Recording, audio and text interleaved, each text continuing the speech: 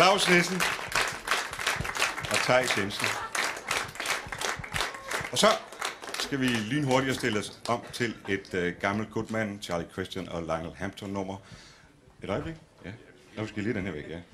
Og uh, det er et, som er specielt tilegnet det danske postvæsen, og det er Airmail Special.